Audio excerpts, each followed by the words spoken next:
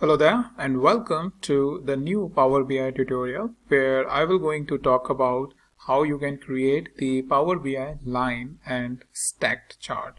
So what is line and stacked chart? Well as the name suggests it is a combination of two different charts to reveal some interesting information. So what we will going or how this chart is uh, really looks like. So just to show you here is the chart and if I just paste it and shrink the size this is how the chart really looks like which is the line and stacked chart. So if you see there is a line information and then there is a stack bar chart that we have seen earlier how we can create that and what sort of information that it reveals so it, it shows very interesting information where on the x-axis it shows the different categories. So for example, your user is asking a couple of things as uh, how the sales across various different product categories uh, and as well as they want to compare it the regions as well, or the customer segment. So here on the x-axis we have the product category and the customer segment information we have given for each product category. So if that's the ask that on one category, they want to look at how this category is bifurcated by a second category, then you will going to create the stack bar chart, which is straight. But then they come back and tell you that uh, along with the sales information, they also want to look at how much profit they are making. So in that case, we can take the help of the line chart, which is sort of an indicator over here whether there is a profit or there is a loss that they are making in the category which sparks another conversation altogether as to why this loss is coming in this category or why the profit is so high in a different category like for example this one.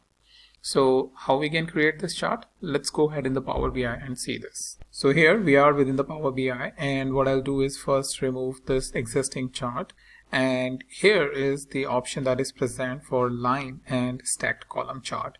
So once I click it over here it gives me the blank chart. Now the first thing we need to provide to the shared axis is the product subcategory. So you need to make sure that whatever options you are choosing is relevant as per your business users. Or sometimes there may be a multiple iteration as well because sometimes things don't go in the very first shot so no worries here if, if you are getting it first time wrong when you are utilizing it in the uh, in the actual scenario. So shared axis is product subcategory. So on the x-axis, that is our shared axis for uh, sales and profit. Then the column series is nothing but your bar charts. So for that, we have the uh, customer segment because we want for each product category, we want that particular product category bifurcated by the various customer segment. And then we have the column values. So column values is nothing but the bar values. So we will take sales as we want to show the sales information. And finally what you have what you need for the uh, line values. So for line values what you will provide is the profit as the comparison. So once I click it over here on the profit if I ever find it or here it is. Uh, so now you see that we have this profit. So if I just put it in a focus mode so right now we have this profit chart uh, profit and sales chart which is clearly giving you an indication as to how the profit or the sales really looks like. But over here you know it it may give you some sort of uh, indication that uh, here you have the negative sales and here you have the positive sales but what if, if you want to provide the altogether independent axis to the line chart? So right now it is showing you the sales value or the sales axis is basically the shared axis between both the sales and profit.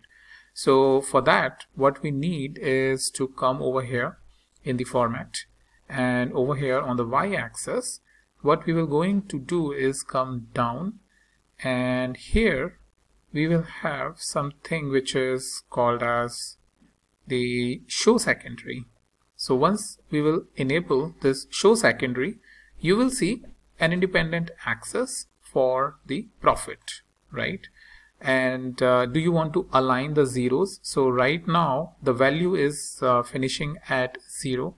So once you click on align zero, it shows much better information because in this category you are making losses. So earlier it was not revealing because it was ending at zero. But as you enable the align zeros, it enables this information, which is much better to spark the conversation about what's really going on over here. Similarly, if you see, uh, it may sometimes give the incorrect information. So interpretation is very important. Here we have a sales which is uh, close to uh, 0.8 million or close to 1 million or 0.9 million uh, sorry 1.9 million but no I'm wrong. So close to 1 million and your profit looks like is beyond 1 million. So in that case you need to make sure that you are educating your use, users that it is not actually 1 million but 300k so that sort of uh, information or that sort of education is sometimes necessary uh, whenever we are having the independent y-axis for the line chart because it may result into the wrong interpretation of data. However, this information where the you are making the uh, losses is something more useful in this scenario. Um, so yeah, that's mainly about it, but you can uh, basically look at the various different uh, formatting options again, very much specific to how each individual wants or how each company uses, but that's at a high level how you can create the stack bar and the line chart within the Power BI to reveal some interesting information. Now I'll meet you in the next topic.